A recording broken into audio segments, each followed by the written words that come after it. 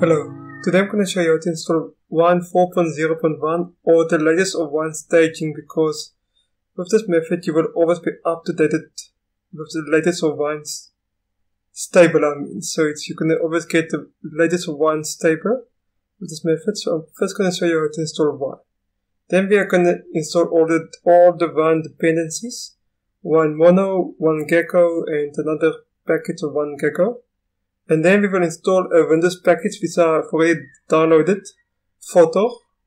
And then we're gonna open it up. And then we're gonna reboot the system that the Wine Windows package will appear in your menu. So that's what we're gonna do in this video. So first of all, we're gonna go, we, are going to open up a terminal. Terminal. I press Control Control Alt T together. All these commands are got from the Wine website. And if they for some reason because I've done it, done it once change the installation method I will update the blogspot the article and then you will have the new commands. But as of today when I made this video this is the all the commands you need. So we just copy paste them all into a terminal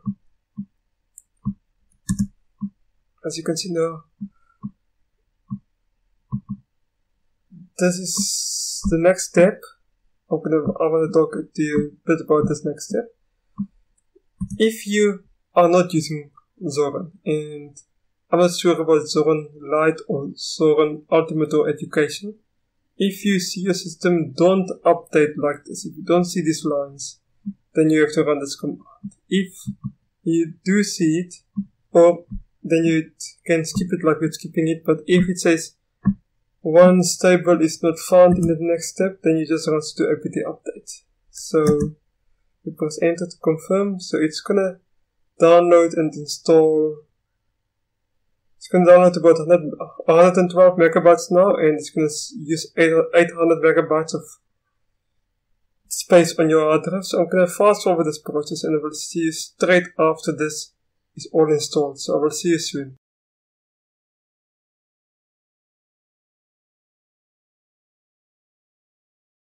Fantastic, so basically Wine is installed.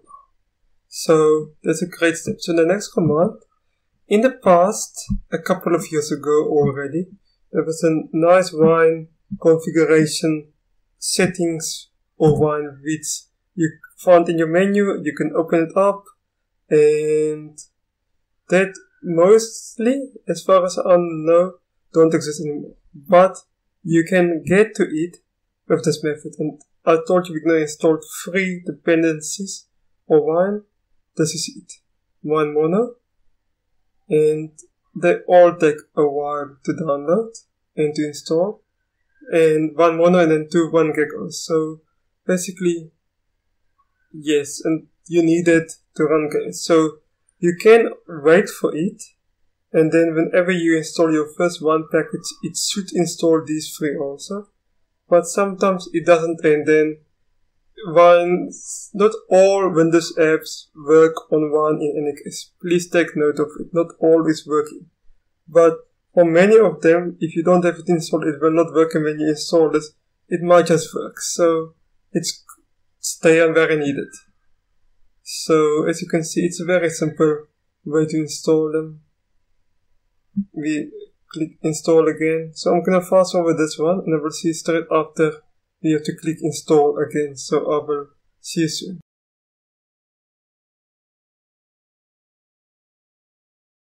Okay, so this is the last this is the last package now and we just click install again. So you already know the method and I will see you straight after this one.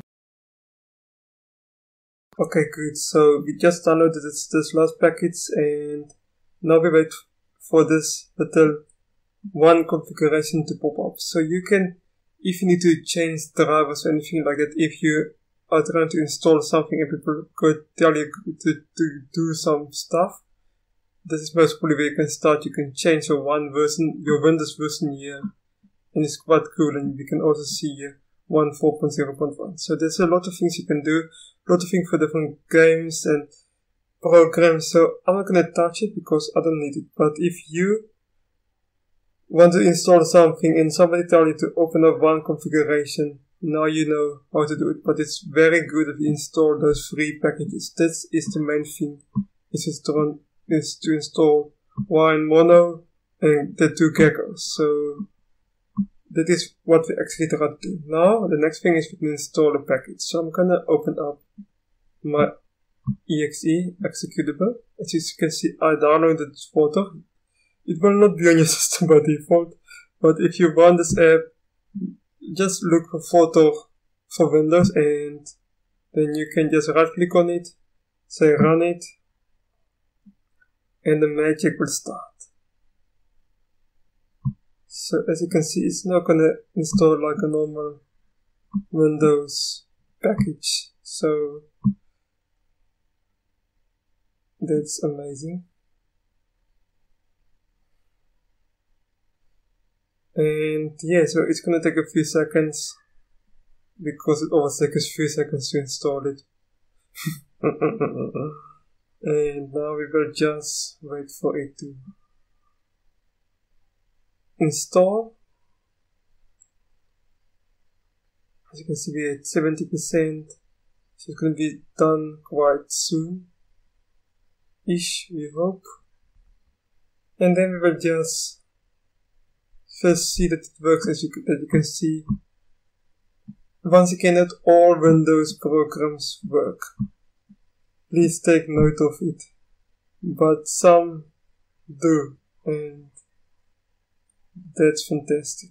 As you can see, it opened up. You can go to photo editor, file, and that is just accepting the photo.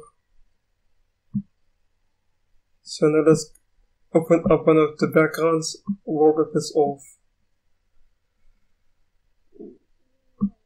Zorin, user, share,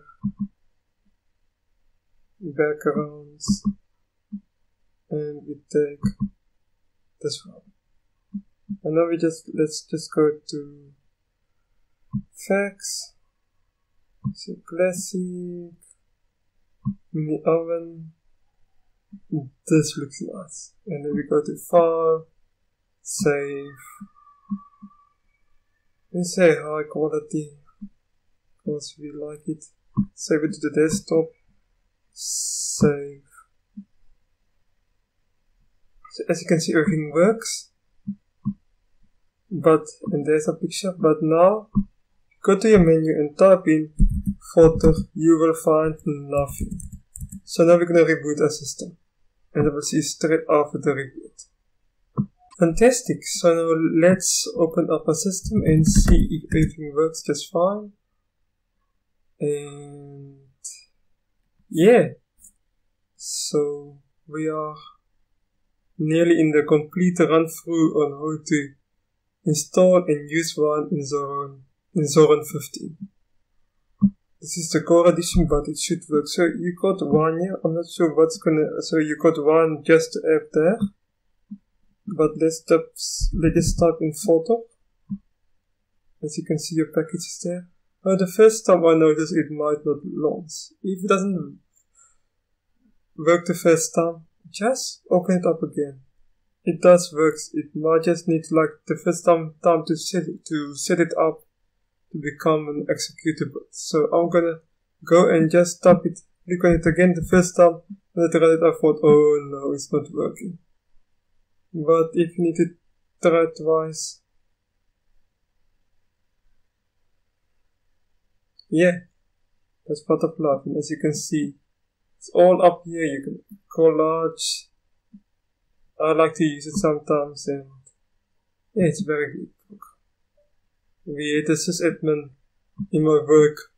No, uh, a peer guy where I worked with in the past, and he didn't use Adobe. He, he, he just used this for the basic editing, and it's a great tool to have. Yeah, thank you for watching. See you later. Goodbye.